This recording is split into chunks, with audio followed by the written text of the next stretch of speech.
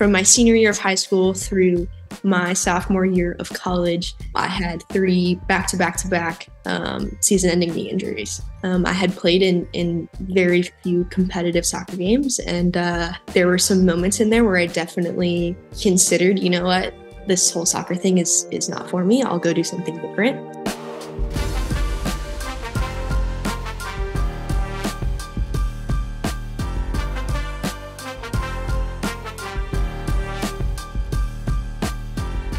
Welcome back to another episode of Kingdom Heirs, where faith meets business, inspiring the kingdom minded entrepreneur. Today, I've got the great privilege of having with me Kate Wiesner, the professional soccer player who was drafted number seven overall from Washington Spirit in 2024 in the NWSL draft. Five years at Penn State, six goals, 18 assists, 59 starts, 71 appearances two game winning goals in 2023 over Maryland, Indiana. Welcome to the show, Kate. Thanks for being here. Thanks, James. I'm super excited to be here and excited for what this conversation has in store. All right. Well, I appreciate you being patient. Uh, our guests will realize this is the very first uh, uh, podcast we've done with a Zoom call. So I'm just super excited about that, that you're our first guest like this. So thank you for being willing to, to come on our show. Absolutely. Happy, happy to be a little bit of a trailblazer here.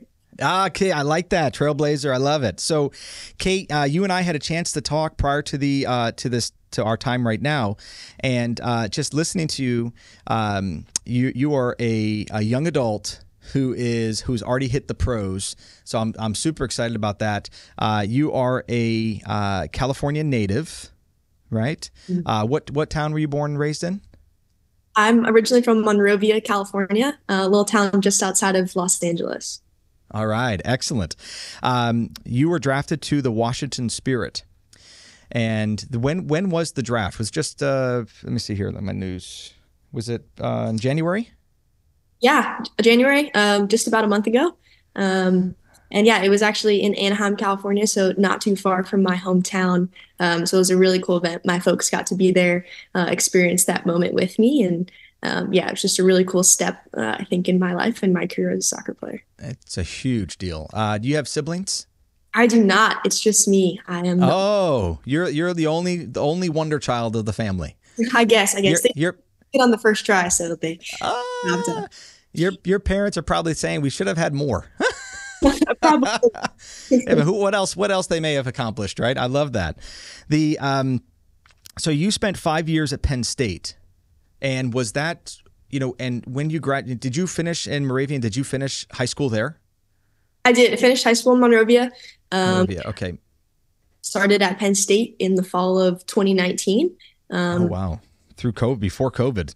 Before COVID, yeah. Um, so COVID was part of the reason why I took that that extra fifth year, um, extra season, and um, yeah, just just graduated in May. Finished up playing last December, and um, yeah, now ready to rock and roll in the pros. I love that. I love that. Your time. Uh, why Penn State?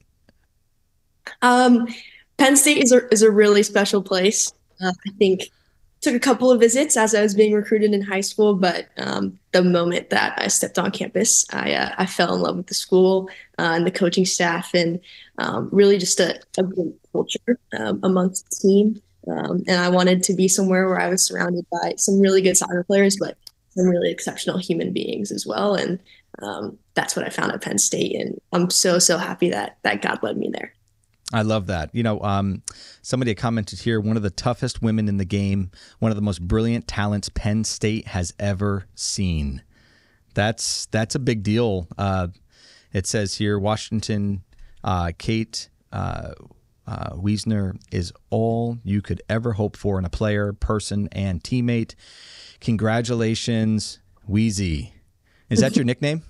It is. Most most people at Penn State call me Wheezy. Uh, I love it. That's super cool. So, you know, your time at Penn State, um, most people, you know this, most people don't don't ever hit the pros, and most people don't ever get into college ball, right?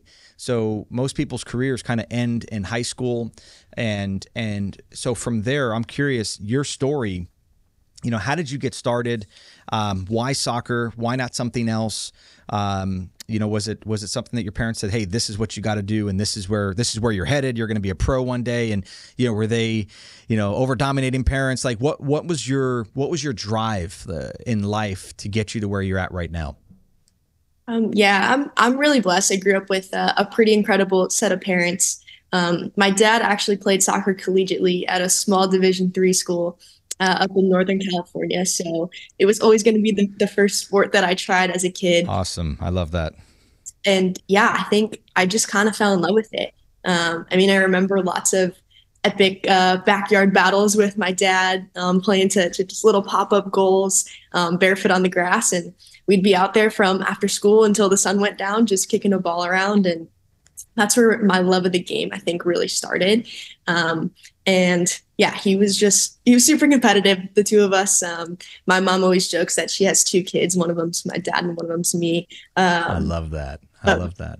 But we had a lot of fun back there, and and really just like those moments, those small moments in the backyard, are really kind of like the foundation, I think, of my career. Um, and the rest of it was just born out of that love, that pure love of the game um, that that started as a kid, and, and that's still like to this day is a huge driving factor for me. Like whenever, you know, it's a lot of work being a pro, but um, if I'm ever yeah. feeling a bit bogged down from from training or hey, I don't want to be this day, like that's kind of the the picture that I think of, just like me as a little girl playing in the backyard with my dad. Um, and that is why I still do what I do today. That's good. Yeah. Yeah, that's a great point. It's it's always about how you feel when you play the sport and, and what uh, what the nostalgia is that comes to uh, to mind and and so to your point, you're right. And and that that relational level with dad and mom cheering on and so oh, well they're having fun because that's got to be a beautiful sight too for mom to watch uh, her daughter and and just enjoying her time with her dad and especially something that uh, that flows so well. So, you know, with dad playing and now you're playing, uh, but you, did you ever feel that that um, that pressure that if you don't continue on, you would disappoint your parents or disappoint your dad, maybe? Because I know a lot of people have that sense, especially with sports, right? Totally. I think that, that that's always a little bit of an interesting dynamic between um, parent and kid anytime you're in a competitive sport. Um, but really, like, I think my parents did a pretty incredible job of letting me know that um, whether or not you know this career worked out. Like from a very young age i had the dream i want to be a pro. Um that's cool. whether or not this worked out like they were still going to just love me for me um, as who i was regardless of of what i achieved on the soccer field or what i didn't achieve on the soccer field. Um, and i think kind of now i didn't really realize how powerful that was when i was younger. Um, it was just like oh my, my parents love me. This is good. Um, but now i think being a little bit older and, and looking back on that like it's pretty incredible what they did in the environment that they fostered where I was free to to go for the goals that I wanted to and they were pushing me and they were driving me, but also free to fail um, and still do That's good. Um, and I think like now like what an incredible reflection of kind of the way that the love of God works too. Um, like yes. obviously he he wants us to to go for these things and um, dream big and, and I believe that. Um, but man, like when we mess up, what what gracious arms we fall back into. Um, and I feel really lucky that I got got to see the heart of my father through the heart of of my parents. Wow, that okay. So you just encompassed the goal I think that all parents um, should strive for, is to share to live out the heart of of God um, to our children, how we love on them, how we how we uh, discipline them in love, how we bind them up, how we hold them, how we restore them, how we encourage them, as, how we, as we push them to move forward towards greatness and towards um, our personal best. Right? That's beautiful. That's that that there could be a whole show right there, right? and and the and the fact that you the fact that you recognize that now because that's mm-hmm. huge. That's I think that's probably one of the greatest gifts that that uh, that you have is just to be able to see that that beauty there. Yeah, absolutely. And I think, yeah, like like I said, really blessed. And and now I think hopefully we got a little bit of ways to go. But as I kind of start to go and and have a family of my own, like those are yeah. the characteristics that I want to emulate in raising. That's the key. That's the key. I love that. Uh, it's it's having vision for your life. uh, even now as a young adult, having vision for your life, a, a pro athlete. What is what do I want my life to look like, um, and and what do I want people to see in my life? And because you know we know that we're on pedestals, and as soon as you hit a, a level of, of high success, and, and hitting the pros is high success, and so you know what people see. Um, you know the good, bad, and the ugly. You know, but really it's it's they see I have a heart that that wants to be loving. I have a heart that wants to show kindness and goodness and mercy. But I also have a heart of determination to do my absolute best uh, at what I put my hand and what I put my foot to. Uh, I'm going to do my very best, right? Um, yeah, no, absolutely. I think like for me, a lot of my career, like um, part of it has been getting uncomfortable um, and and That's putting good. myself in environments and situations where I wasn't the best player on the team. Um, I wasn't the most experienced player on the team, um, and like getting into these moments where I was being stretched and pushed and pulled in all the right ways. And I think like God has not called us to live this easy, comfortable life where oh, I'm the best player on my team, everything's great. Um, wow, yeah. like let's let's get into situations where i'm being forced to grow. Um, and i think that kind of having that mindset has helped me so much not just in my my playing career but in my life as well right? Like when we surround myself with that's right. people of high character who are stretching me to be a better human to be a better follower of jesus. Um, and i think that that's so powerful and so important is to get in rooms with people who have more wisdom than you have more experience than you yes and to yes. really learn and grasp from those people. That's huge. That's a great point. Um, getting around uh, people that have walked the road already, uh, mm-hmm. the older folks uh, in our community, in our in our in our in our world, you know, they've they've already walked the journey. They've they're doing it, and as their journey comes to an end, and as they're pressing on towards eternity, you know, gleaning from them life experiences is huge right? And I've, I've always said I would I I rather be around people that have a true heart for Jesus, have a great heart for the Father and for the kingdom, who are successful, than someone who's just filthy rich, who's you know who's a billionaire, who's done done great, but they don't have a relationship with the Father. So I feel as though you know you could look at things like what they've accomplished and say, man, yeah, wow, they accomplished they accomplished some big things, noteworthy things, but you know in the end, do they have the heart of the Father? And because if they do, they would have lived life in such a way that I can glean something from them of how they journeyed with God. It's like Abraham. Abraham walked with walked with God. Moses walked with God, right? And so I think that's the key thing. And they were very wealthy. Abraham, super wealthy guy, right? I mean, if you really consider his wealth, uh, it's billionaire if you consider t- of today's standards, right? So I think that's that's kind of the heart of all things is how we how we live things out. And so, you know, tips for um, from you and, and what you've kind of walked out already. What kind of tips do you have or advice would you share, other than having a great mentor? Um, you know, that for other young adults uh, who are listening, you know, can apply to their life so that they can aspire to hit their dream of being a pro athlete. Totally, yeah. I think for me, um, the the big part of of you know like stretching yourself, getting uncomfortable is is big um, I come back to I love the story of um, Peter walking on water. Like I think hmm. he, a lot of times Peter gets a bad rap in that story because you know for a moment he took his eyes off Jesus and and uh, he starts sinking. But like the courage that it took just for him to get out of the boat, um, I feel like we don't we don't give him enough credit for that. And I think there are wow. times in my life where like I can look back and see hey, maybe Jesus was calling me to step out of the boat. And I was like, oh, nah, it's pretty comfy back here, though. I think the, the boat's yeah. good. Um, and then times where I feel like God has called me out of the boat and I said, all right, God, I'm, I'm jumping in the water. Like, let's go. Um, and so for me, like finding the courage and the faith to just step out of the boat. Um, yeah. And then Jesus will take care of the rest. Um, but it's that that first step of let's leave these spaces that are nice and cozy and comfortable and let's puts ourselves um, to go to go to new places that god is calling us to go. Uh, so well said. You know push ourselves out of the comfort zone. Um, i for one am someone who uh, needs to exercise. I want to exercise. I tell myself i need to get to the gym right And then I then immediately I was like, yeah, I need to do that. I need to lose weight and everything else, right? But then I'm like, but then my knee hurts. But then my hand hurts. And if I go, then I'll have to then I'll feel the my pain my the pain in my knee is going to come back. So, but I know that if I push through the pain, eventually it goes away. So I know that as well, right? So how do how do you get someone to get out of that comfort because right now I'm comfortable. I'm happy, right? So the question is, how do you get someone from that that comfortable comfy place, as you mentioned, to the point where they're back in the gym, they're back doing the drills, they're back focusing themselves. How do you kind of like get kicked out of the nest, so to speak? What do you, what do you suggest for that? Um, I think that's the hardest part, right? Is is just literally starting, um, getting started, getting yeah. started. And I think that um, once we take that first step, like we often don't realize what's waiting for us on the other side of that step.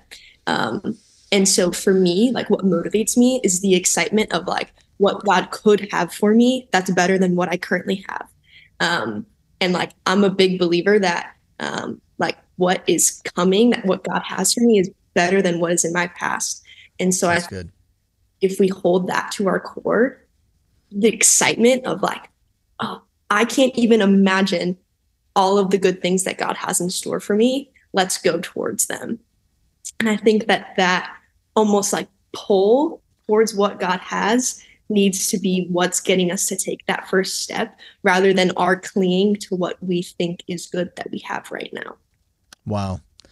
Yeah, that's so well said. Because um, even if what we have right now is good, um, it, our God, if we, you know, as we're walking in relationship with Him, what He has for us is better.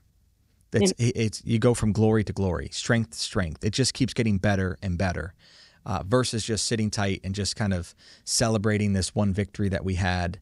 And well, dude, you've been celebrating that victory you had. That victory was like ten years ago. Like, right. have you had any? Have you had any other victories? Well, well, this one was so great. I don't need any others. No, no. You, you need more victories in your life because you can see how God moves in your life as you step out and push yourself through. Right, push yourself forward. Absolutely. Um, yeah, no. I always I had someone say to me too um, right? Like, I think for me anyway, I think of my my soccer career and, and the gifts and the abilities that God has given me as kind of this.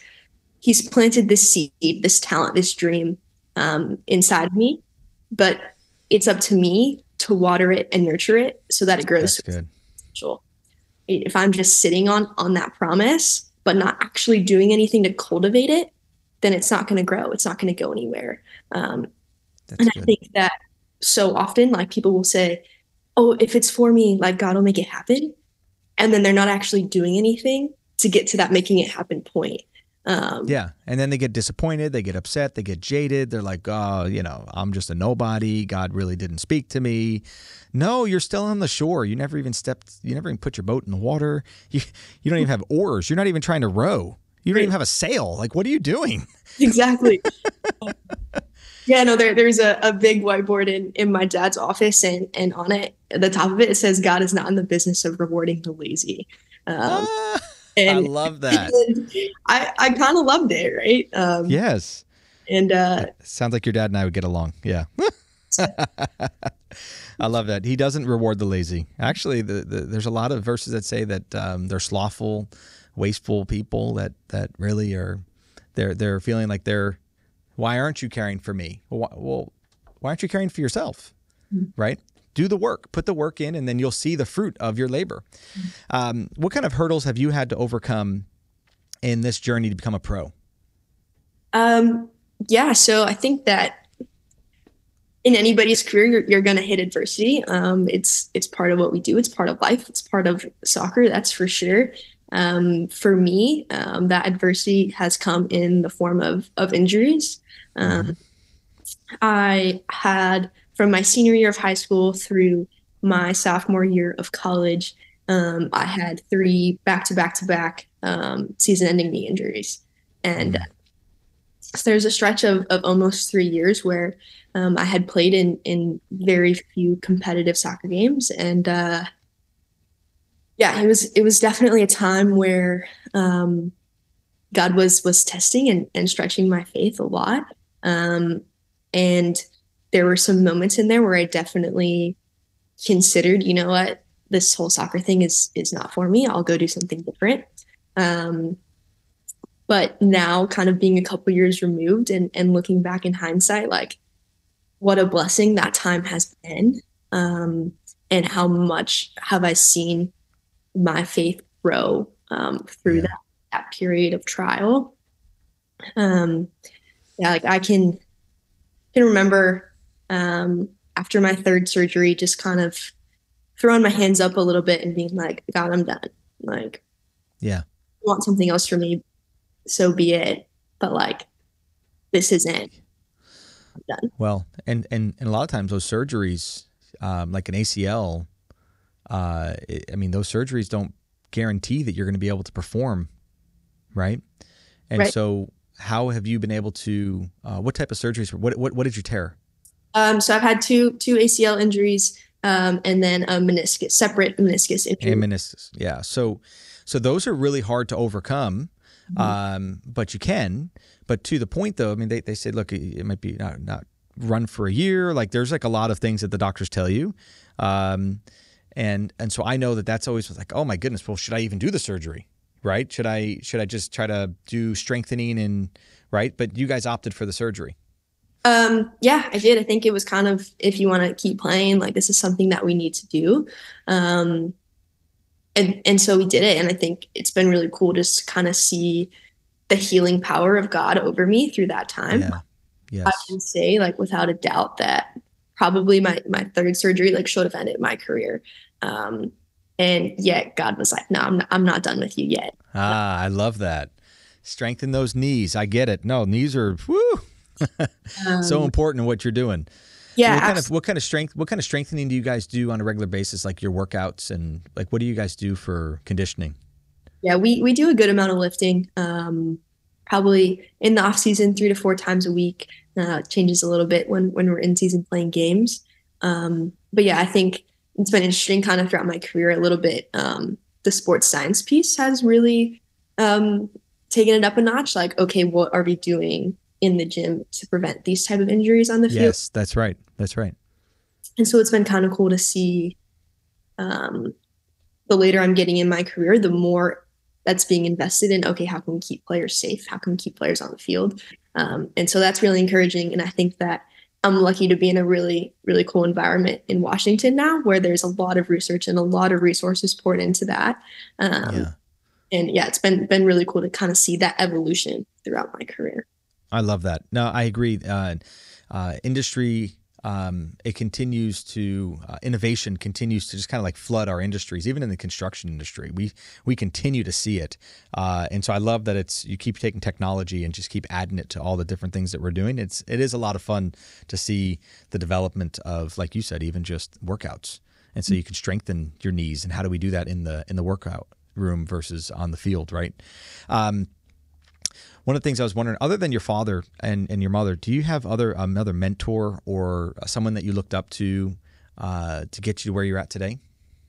Um, yeah, absolutely. I think um, I've been lucky to be surrounded by um, a lot of great men and women of faith in my life.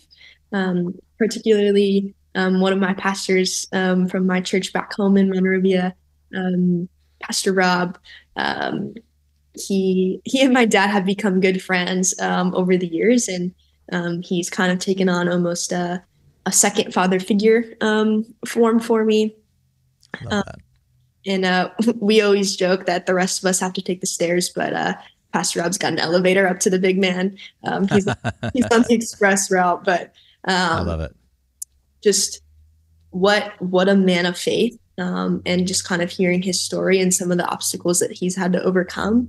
Um, it's been really, really inspiring for me. Um, and just his encouragement and support of of my dreams um, as a form of worship for the kingdom. Um, yeah, that's awesome. Like he's encouraged me to to pursue this career for the right reasons, um, not for the personal glory or the fame that comes with it. Oh, I'm a pro. That's yes. cool, but no, I'm right. this because God has given me a gift and I'm going to worship and honor him with that gift to the best of my ability. I love it. Um, Man, so well said. Uh, uh, talk about platform. uh, our pastor, Pastor Mike, um, one of the things that he talks a lot about is use the platform you have, and and just start sharing. You know, you, you don't need to be standing on a stage and waiting to be on a stage so you can start sharing. That is so like reverse uh, mindset, right? It's whatever platform you have, use it for the glory of God. Use it, share, share your story right? Share share where you've been tested in life and and your testimony that came from it. Show where life got messy and how it became a message right? I mean that's that's really what um you know so that's great advice from pastor rob. That's great advice. And and now you have the same opportunity to kind of keep resharing that because now you're walking it out because it's real for you right. right? Yeah i love that. That's so important. The um you know looking at your the uh the platform that you have and, and how you know you're you're really a great example to young adults who have strived, overcome some adversity, um, had a really good focus. You have a good trajectory of what you're looking towards. Um, what are some of your goals that you have? You know, what are you looking to accomplish in, in your life, and what do you want to see? Um, yeah, that that's a great question. Um, I think for me, kind of um, throughout college, um, the let's let's go play professional soccer. That was um, definitely a big one for me. And so um, I think kind of now that I'm here, um, what can I do to to sort of um, establish myself in the league and and be an impact player here in Washington and um, yeah, kind of kind of climb that ladder a little bit. But for me, honestly, like the success on the field is great, and and obviously. Oh, yeah I work work really hard for that, but um, that that is secondary to uh, to the work that I'm doing for the kingdom. Um, and I think that my goal in any environment that I am is just um, to be a light for Jesus um, and to, to, show His love um, to the people around me. And I think um, I'm in a new environment here in Washington where hopefully I have an opportunity to do that and really just um, speak life over my teammates, speak life over yes. Well, I'm living next to in my apartment complex. Like that is the purpose that I wake up with every day. Um, I love that. How how can I be a light in this this pretty dark world that we're living in?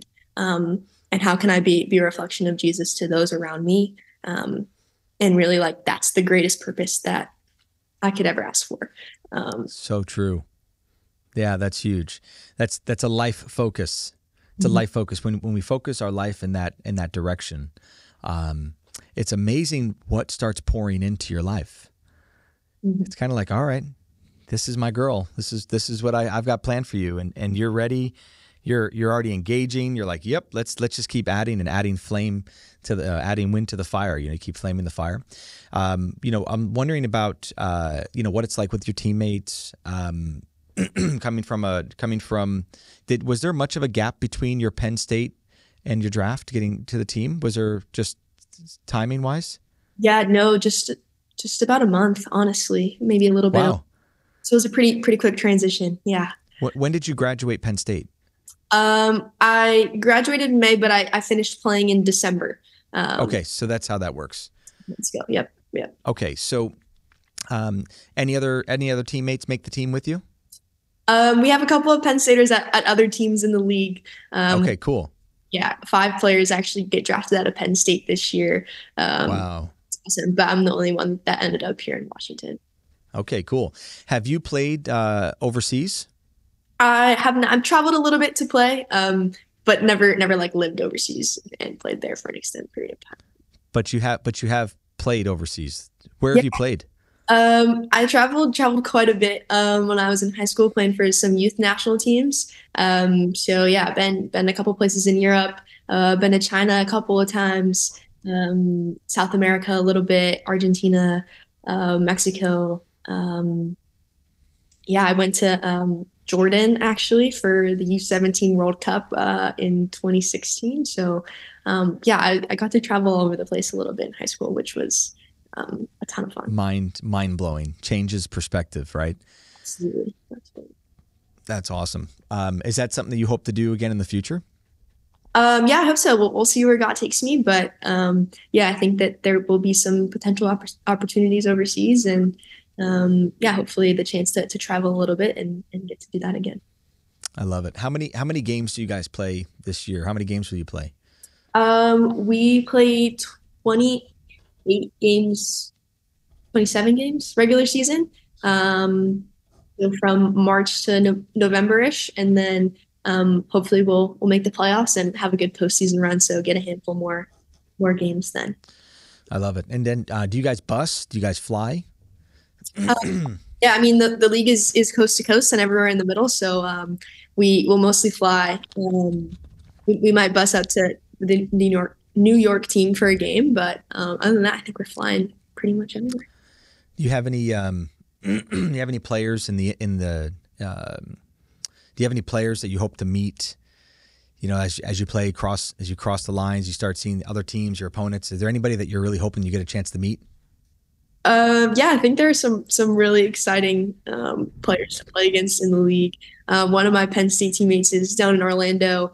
Um, she has the opportunity to play alongside Marta from Brazil, who's arguably the greatest of all time in our sport. Um, and so I'm excited to hopefully get the chance to uh, share a field with her. Um, and yeah, I think they're U.S. national team kind of legends who are all over the league and um, players that I watched as a little kid growing up, and um, now get to to play against them. So that'll be fun.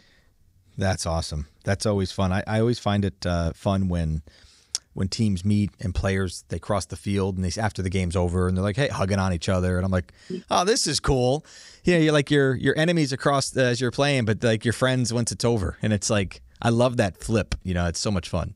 Mm-hmm um, yeah, I think we're the cool thing about the, the league in the US actually is that there's really just like a lot of support across team lines. I think like um, there's been so much growth in the league itself over the past 10 years um, and lots of, of players who have kind of blazed the trail for us to come in and be able to have this as a, a legitimate career and, and make a living out of it. So um, I think there's just a lot of camaraderie amongst um, the women who have been here before me and that has kind of continued on through through my generation of players. And so that's why you see i think a lot of the hugs and and love after the game because um, i think the league as a whole has kind of been fighting for um, to get to the place that it's at now um, and yeah. to be a part of. That's cool. That's very cool. Hey what did you study at penn state? I studied journalism. Really? Yes. What what was the what was the reason choice for journalism um, I love to write. That is my my passion outside of soccer. Um, so that was kind of why why I picked the major and got to write a lot of stories and um, meet meet a lot of cool folks. And I think my favorite thing apart, about the major is just like I love taking stories of of kind of unexpected people who are doing cool things behind the scenes and getting to shed a little bit of light on the difference that that they're making in our communities. I love that. No, that that that will never stop. Keep on doing it. I, I, love the fact that you you're writing and and uh, journalism. Right? Have you ever submitted any of your pieces to like be published? Um, I wrote a little bit for for a local school paper during COVID, um, so I got a, a couple of stories published in there. That's cool. Well, come on. You can you can have like your your journal, your secret blog. You could be blogging about your experience and and what it's like to be uh, Washington Spirit on the team and, and what you guys are doing. They probably need someone to to write their pieces for them. Probably. and and you'll probably do the better job. You uh, probably do it, you know, from from your position, your your perspective of the field. Sure. Right. Hey, um, you know, as we as we wrap up our call, you know, one of the things that I'm curious is, you know, uh, social issues. Um, you know things in life that that that you're kind of passionate about uh, is there anything that that you've got any causes or things that you're really wanting to kind of champion um, in your life? Um, i think for me like the coolest thing about um, about sport is being able to use that as a vehicle to reach people. Um, and whether that's through our platform or through just a shared love of the game. Um, and so in my time at penn state um, I think I really tried to make an effort to connect with our community through the game. Um, right, nice. we share this this love of this one thing, um, and kind of how can we use that as a vehicle to, to teach people about Jesus um, and to show people um, what it means to be loved and valued. Um, and so at the moment, I don't have any specific organizations that I'm working with, but but that is my heart and my dream eventually to be able to, to connect those two um, and really just build kind of a special relationship between the game um, and, and the love of Christ and, and be able to use that as a way to reach people. It is. I mean, I know um, it really is. We we've gone to um, my family and I. We've done a lot of time, spent a lot of time in South Africa, Mozambique, and um, our one of our last trips in July. I, uh, you know, my, me and the twins were there, uh, Michaela and Giovanna, and we purchased, I don't know, like 30 soccer balls.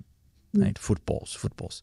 And uh, we purchased them in South Africa and we then uh, brought them to we brought them to the different locations that we were uh, speaking at, and and we were holding like revival services and cooking a ton of food for all these different places that we were traveling to, and um, and had tents set up. It was a ton of fun. What a cool experience! And I brought these soccer balls, and I was bringing them and, and giving them out to the kids, and the faces, their faces were just like a brand new soccer ball is huge. Like that is like that's a piece of gold in their hands, right? Yeah. It's a huge deal. And um, you know, because they don't have, you know, like the, the soccer balls they that they'll use, you might see like a tattered ball, literally, that doesn't have a skin on it anymore. Mm-hmm. Right. Or uh, in Mozambique, which was really cool, uh, in 2018, we brought um, one soccer ball to Mozambicans, and we had um, they had a, a, a wadded up newspaper soccer ball. Wow. It was just wadded up. And they had string. They strung it all up. Like it was wrapped up, tied up. And I was like, what in the world is that? And so I, I brought them a soccer ball and just one. And there was like 30 kids. And I'm like, ah, just one. I said, I'm a fool. What am I doing? So I brought back, I don't know how many we brought 10, 12. And we brought them back. But I told the South Africans, this is pretty funny. I told the sports store where we were buying all the, the you know, the, the sports gear. I said, hey, I said, these South African footballs, we're going to bring them to Mozambique, give them to the kids so that the Mozambique team can beat South Africa. You know? so we're so like these Mozambicans are using the South African soccer balls to to beat you. And they were like, no, it became like this huge deal. No way, never, no. It was so funny, man. It was it was it was hilarious.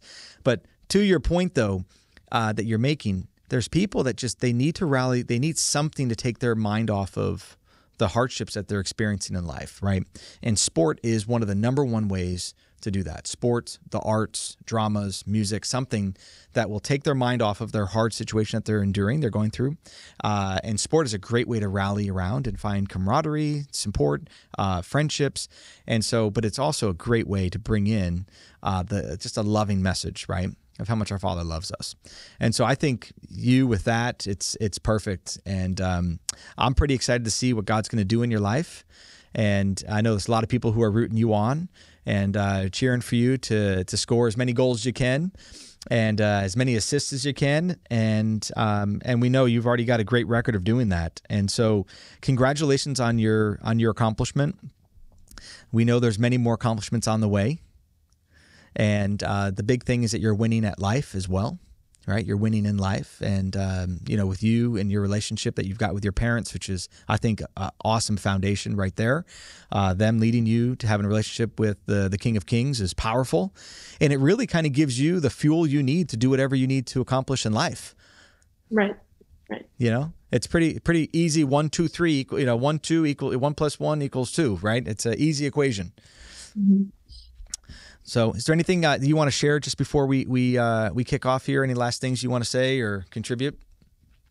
Um, yeah, no, I, I don't think so. Um, it's been a been a pleasure talking to you and um, kind of just unpacking this a little bit. Um, I think it's it's really incredible what you guys are doing and and the messages that you are putting out um, for the kingdom. And I'm happy to, to have been a part of that um, and hope to continue doing that um, here in Washington as well. Awesome. Well, thank you so much. Um, we're going to include your uh, your socials and um, just how people can kind of follow you and, and connect with you uh, in the link. Uh, also, uh, thank you for uh, for being here with us. Uh, so, hey guys, if you've liked what you just saw, if you would like, subscribe and ring the bell.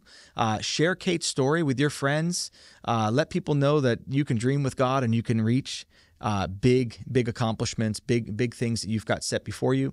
But if you're lazy, you're not going to accomplish it right? So uh, that's that's from the words of Kate. So and her Kate's dad, right? God doesn't uh, reward the lazy. So I think that's a great message. Um, and so thank you guys for being here. Uh, we love you guys. God bless you, and we'll see you next time.